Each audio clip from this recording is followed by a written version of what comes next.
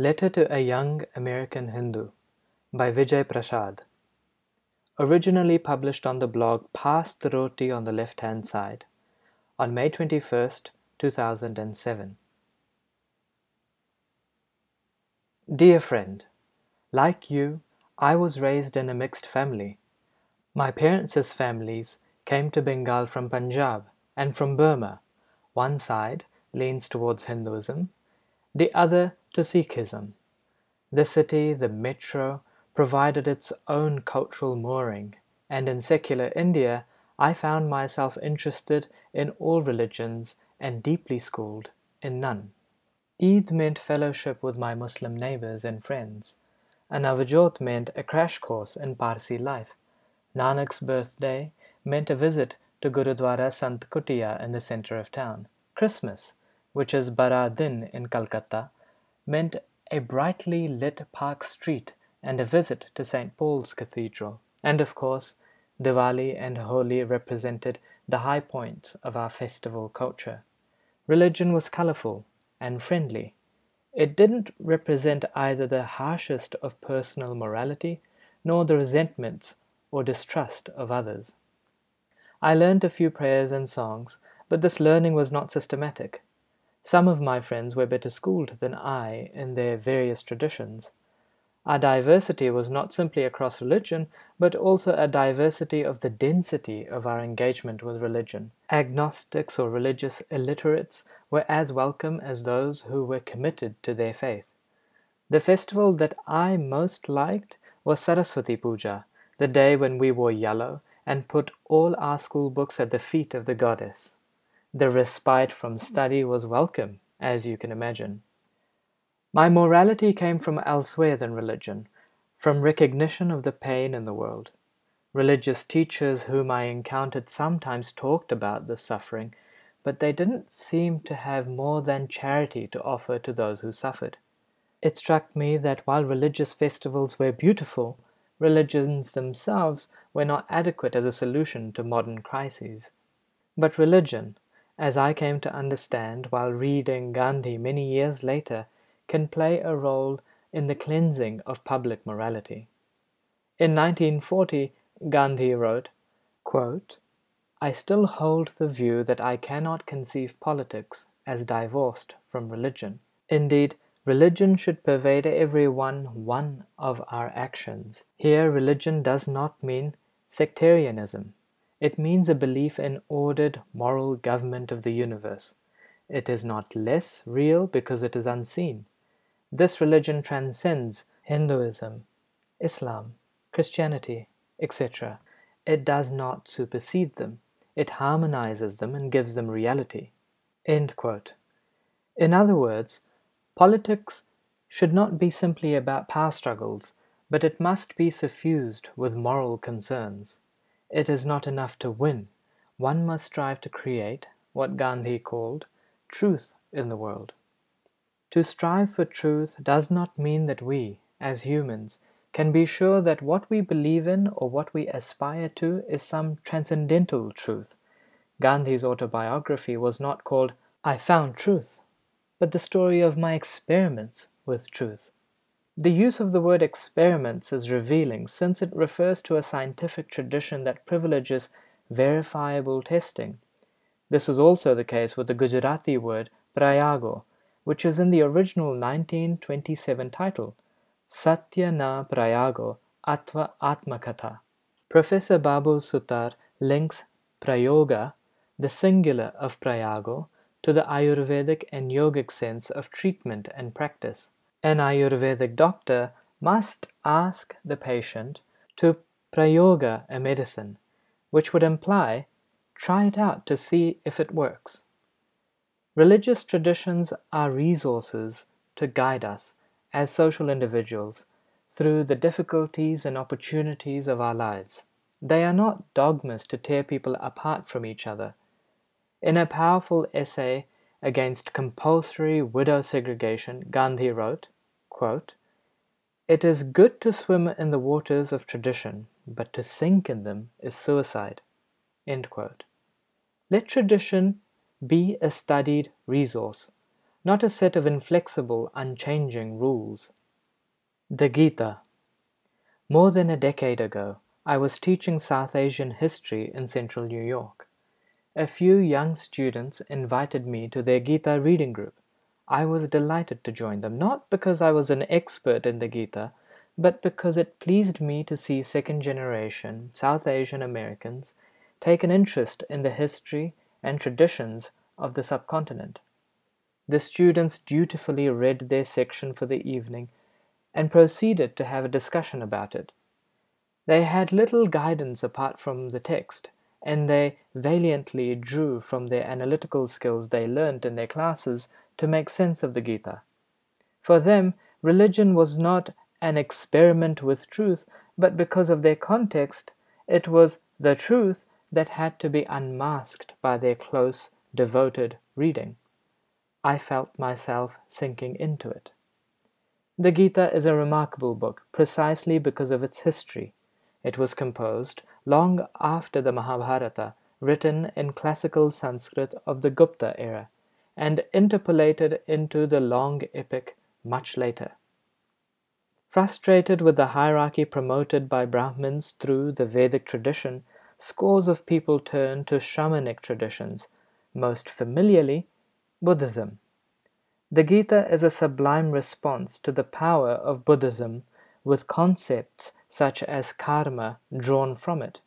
The genius of the text is that it takes concepts and ideas from these popular traditions and brings them into line with some of the central principles of Brahmanism, Varna mainly. The Gita is awash with contradictions. It preaches ahimsa, and yet it is set in a battlefield where Krishna must convince Arjun to go into the fight.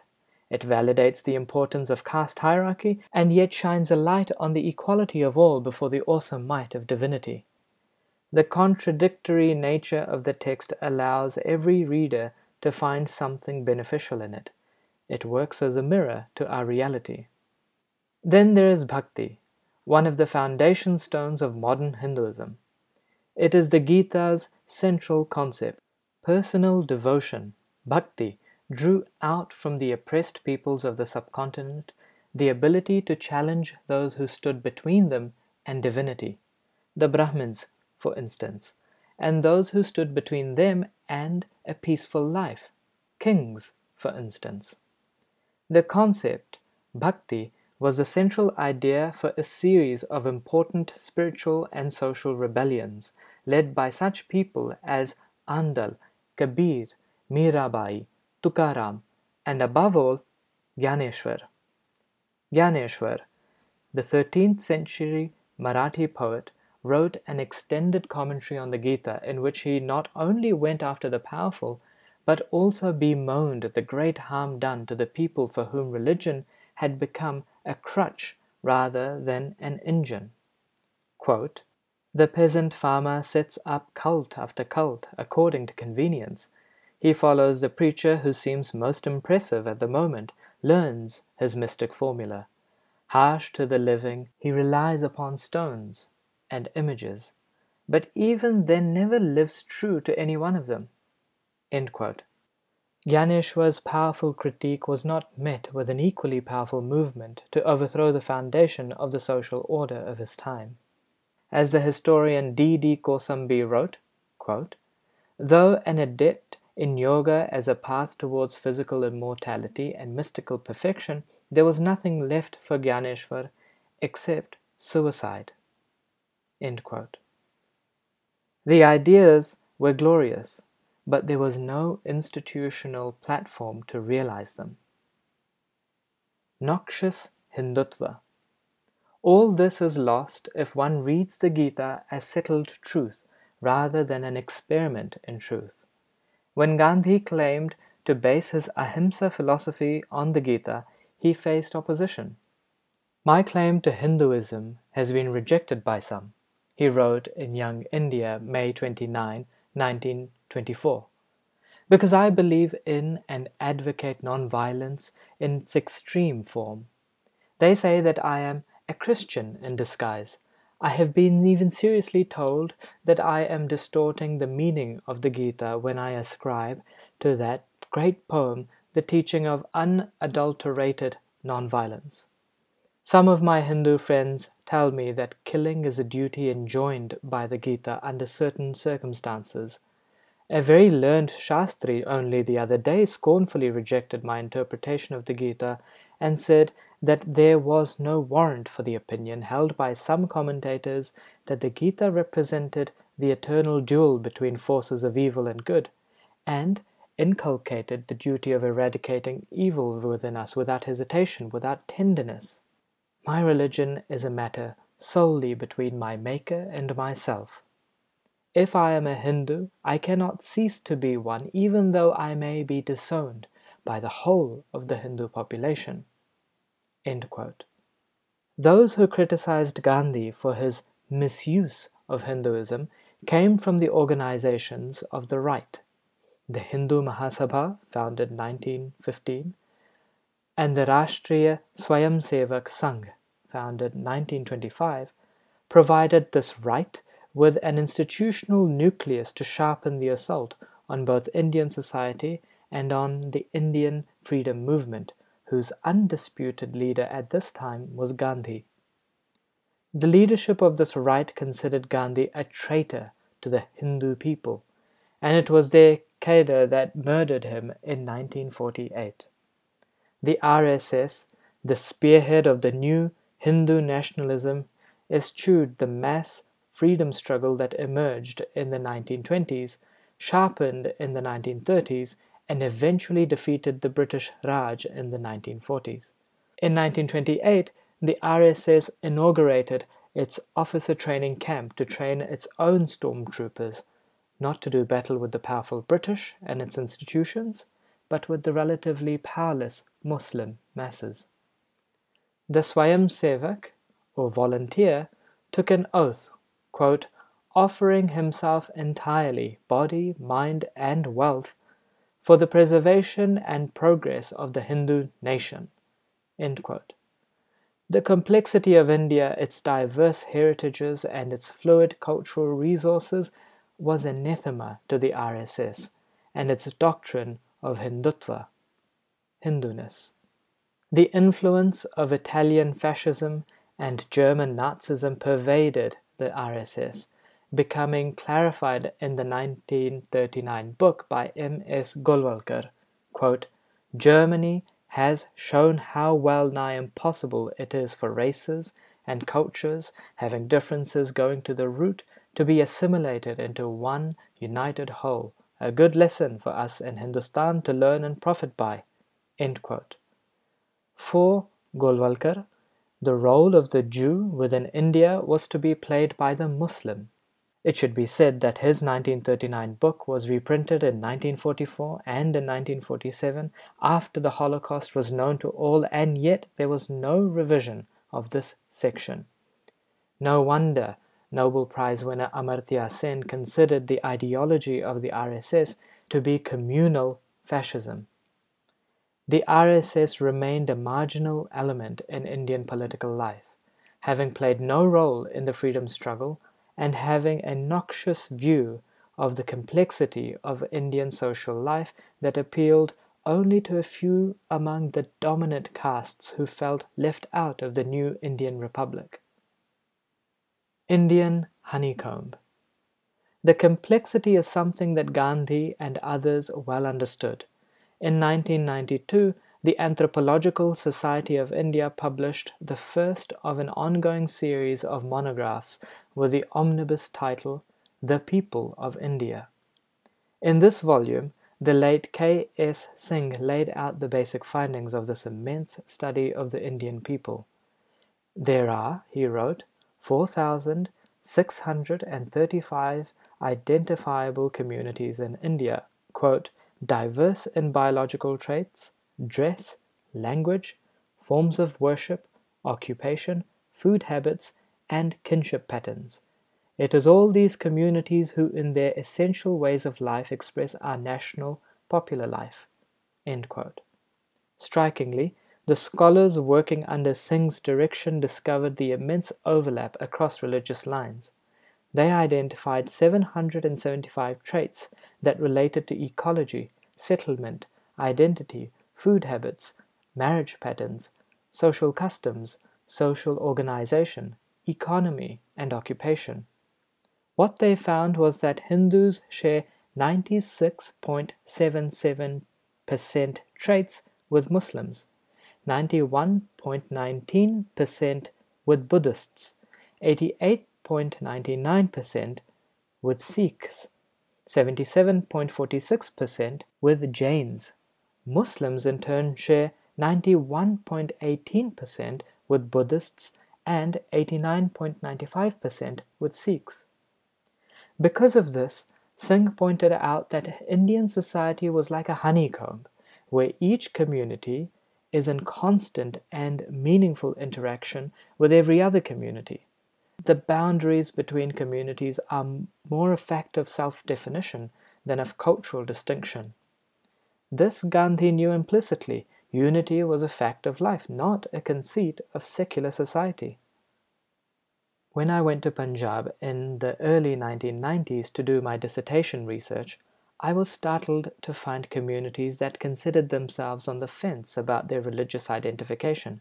Three in particular that make their way into Singh study stood out the Mirasi, Sonar, and Rajputs, who claimed to be both Hindus and Muslims. The group I had gone to study, the Valmikis, had a wonderfully rich religious history where they crafted their own spiritual tradition around the preceptor Bala Shah Nuri and Lal Beg. Bala Shah's poems attacked both the Brahmins and the Mullahs for their perpetuation of untouchability and their refusal to stand for justice. Ram te Rahim kiya chap chap jana. The followers of Ram and Rahim will hide themselves in fear. Sava neze te din avega, hade dosach pana. And when the sun sets, Bala will send them to hell. This evokes the kind of language of that other great Punjabi poet, Bulle Shah, who sang Musalman sarne de darad Hindu darad gor, dove ese vich mard eho duha dikhor. Muslims fear the flame, Hindus the tomb. Both die in this fright, such is their hatred. Hindutva, or the ideology and the movement of Hindu chauvinism, attempts to do to this richness what agrobusiness do to biodiversity. They want to reduce the multiplicity and plurality of cultural forms into the one that they are then able to control. A deracinated Hindu, like a genetically modified form of rice or barley. The joy of religious life, of social life, is reduced into a mass produced form of worship, cultivated out of hatred for other religions rather than fellowship for humanity. With the RSS and its parivar, family, we are no longer in the land of religion, we are now in the land of power and politics, hate and resentment. Till the 1980s, the RSS remained on the margins of Indian politics. Rejected at the ballot, the movement emerged only through assassination and intimidation, through riots and mayhem, through which it sought to define the political and social sphere. In the 1980s, conditions changed. As the Congress abandoned its soft socialism, soft secularism for a neoliberal globalization and the politicization of religion, first by patronizing Sikh separatists. The RSS family won over the Congress's Hindu vote bank through an aggressive campaign against Dalits over the Mandal Commission's attempt to deepen reservations, against Muslims over the Meenakshipuram conversions and the controversy over the mosque at Ayodhya, and against the left by deeming its ideology to be foreign. Flamboyant campaigns designed to make the most of the television media and harsh rhetoric against minorities attracted the dispossessed, who now joined with the disgruntled dominant castes to bring the BJP to power. The Indian honeycomb began to break up in this period.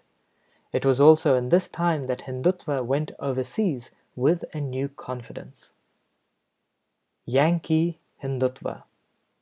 More than a decade ago, I used the term Yankee Hindutva to describe the way Hindu chauvinism came into the United States.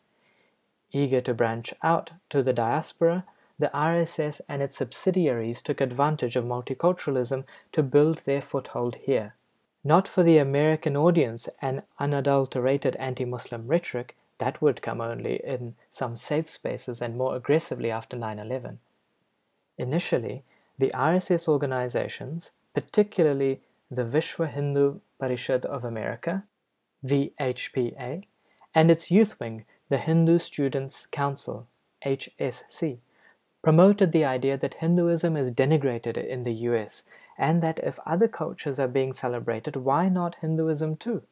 This is an unimpeachable argument, but it came with some implementation problems. First, it assumed that Hinduism is a singular thing, not a clumsy name for a diversity of beliefs and affections that litter not only the subcontinent but also the South Asian diaspora from Trinidad to Fiji.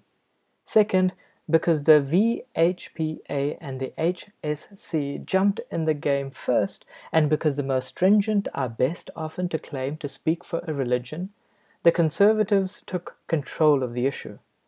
There was no liberal critique of the denigration of Hinduism, and when liberals and radicals did dare to tread, the conservatives harshly shut the door to them as being inauthentic defenders of the culture.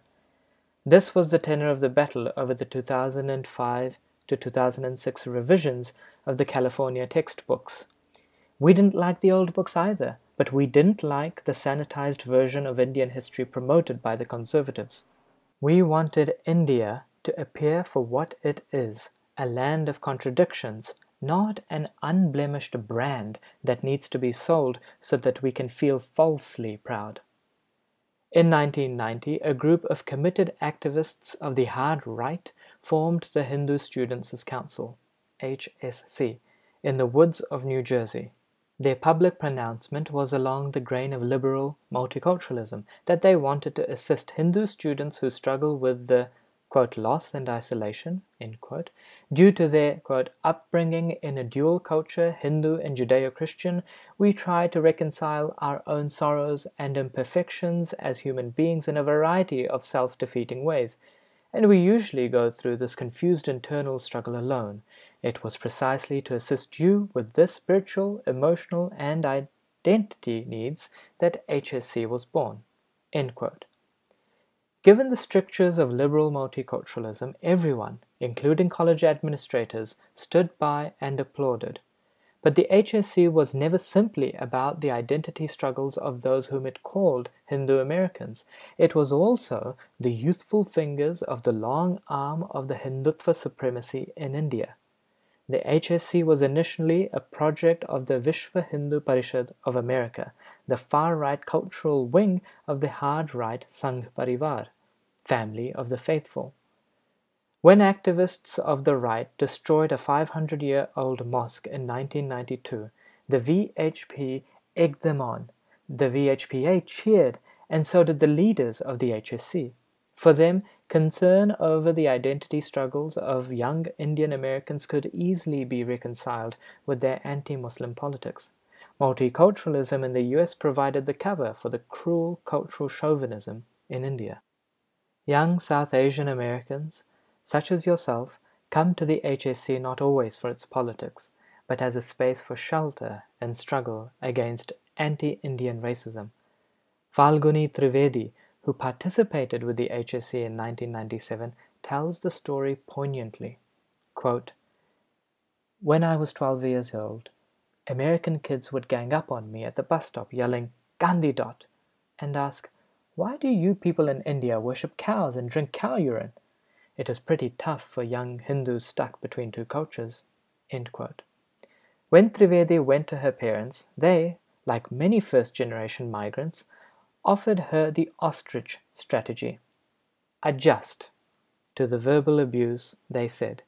Trivedi, however, wanted her parents to offer clear answers to the questions posed by the racist youth such as answers about the cow.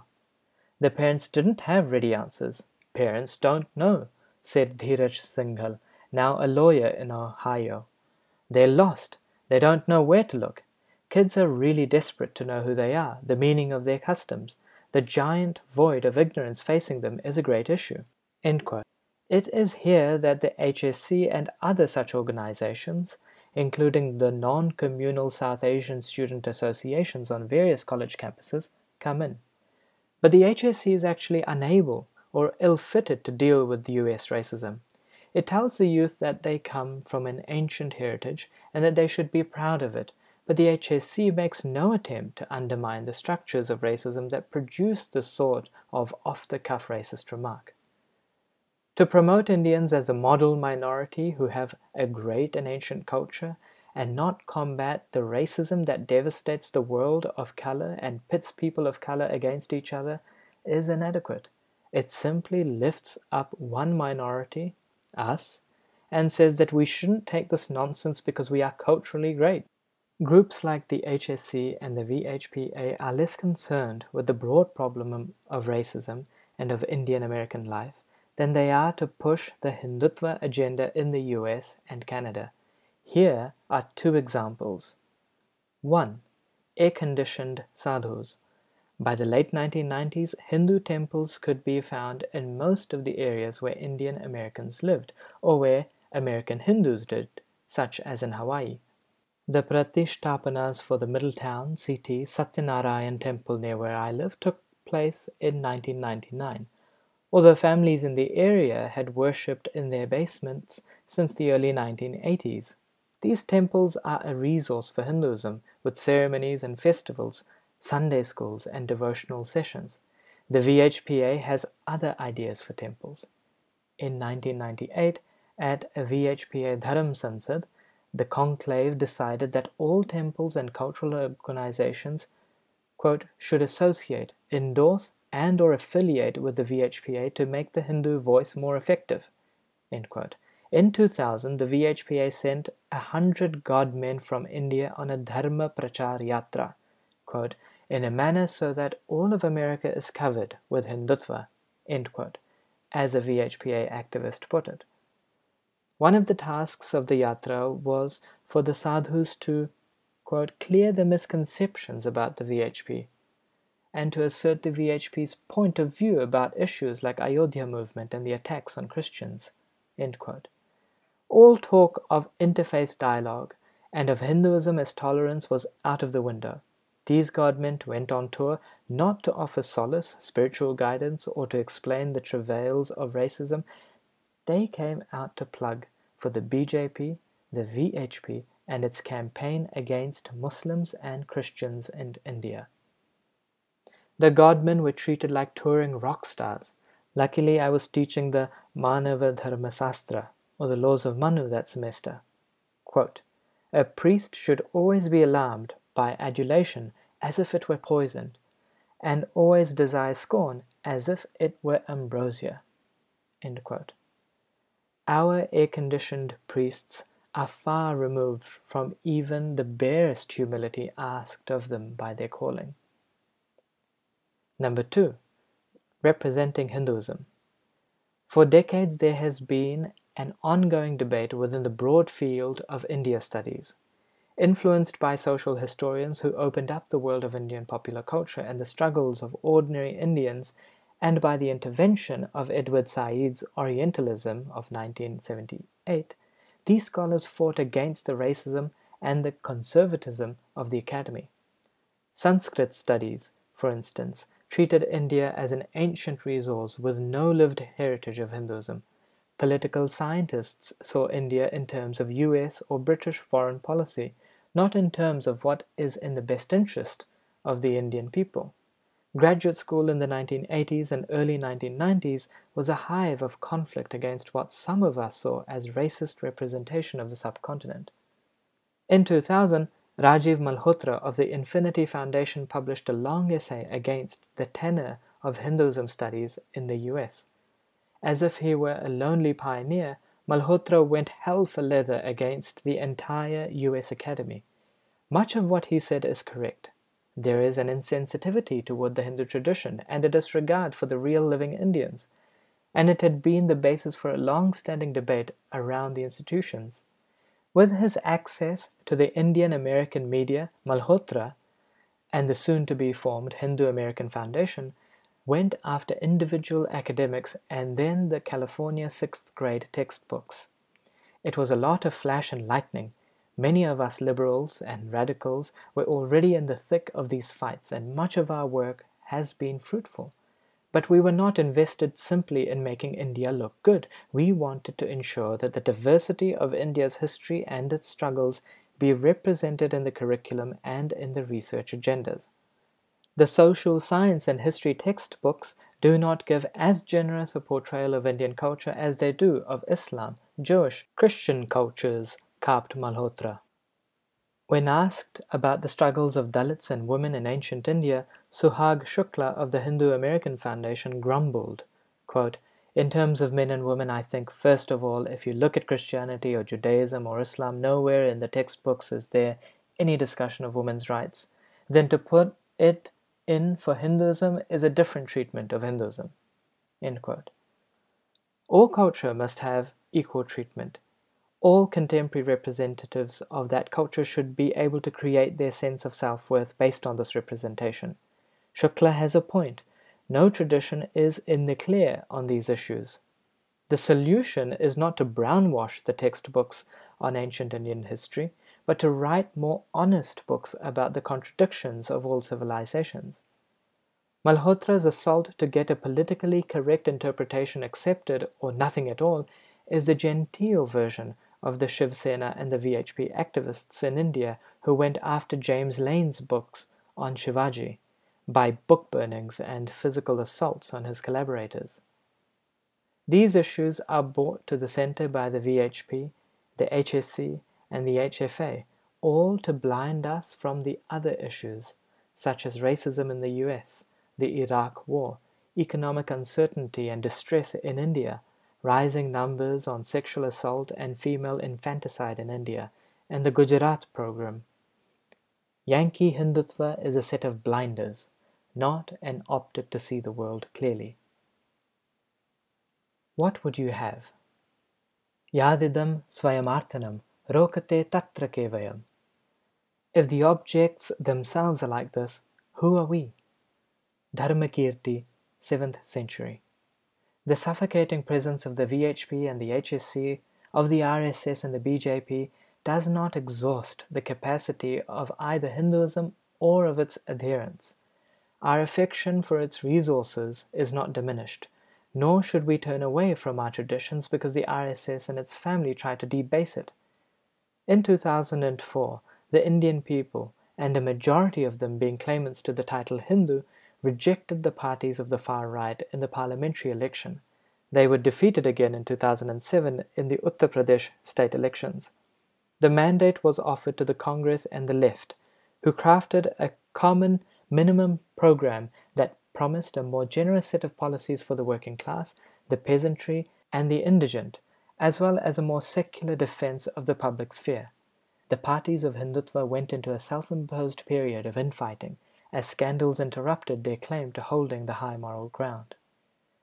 In the diaspora, there was some reflection of this change in the Indian political landscape. The far right moved to consolidate its agenda despite changes within India, closer ties between Indian American lobby groups and pro Israeli lobby groups, to sharpen the idea that the Indo Pakistani problems can only be resolved in the Israeli fashion, through force. The creation of the Hindu American Foundation, whose main campaign in 2004 and 5 was the Diwali resolution, and who was an active leader of the California textbooks campaign. An assault on scholars of India and Hinduism led this time by the Infinity Foundation. But not a word from any of these organizations on the farmers' suicides in Andhra Pradesh, on the deepening problem of unemployment across India, and on the cataclysmic child malnutrition rates across the country. These matters were not, apparently, of importance. Discussions about planet India, as Mira Kamdar puts it, eclipsed the burgeoning social crises in India. As Gandhi warned his fellows 90 years ago, quote, the test of orderliness in a country is not the number of millionaires it owns, but the absence of starvation among its masses. Equally, these organizations remained silent after 9 11 at the attacks on South Asians and Arabs and at the illegal detentions of hundreds of South Asians. The civil rights and activists groups, such as South Asian American Leaders of Tomorrow and Desis Rising Up and Moving, were in the lead here. Immigration reform, Operation Meth Merchant, against the small Indian shopkeepers in Georgia, and other such issues were equally off the radar of the HSC, the VHPA, and HAF. If I were you, I'd abandon the Hindu Students' Council and create a new organization called Sarvodaya, Compassion for All, a word Gandhi coined for his variety of social justice.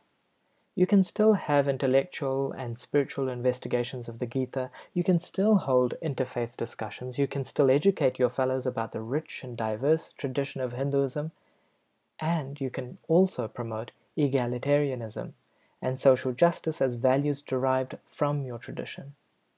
The Hinduism that cares more for its reputation than for its relevance is no longer a living tradition.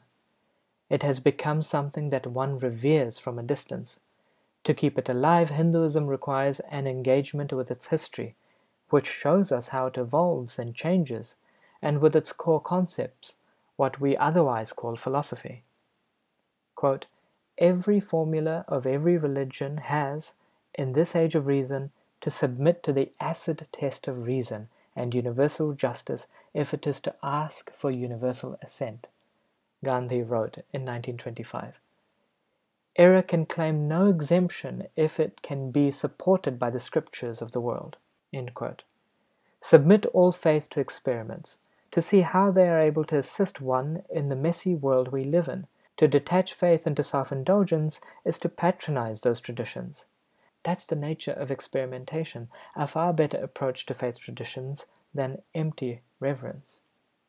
The choice lies between giving over the traditions you love to the forces of hatred who might masquerade as the defenders of tradition, or to the force within you and around you, a force of love and ecstasy, passion and pain to transform the world. What would you have?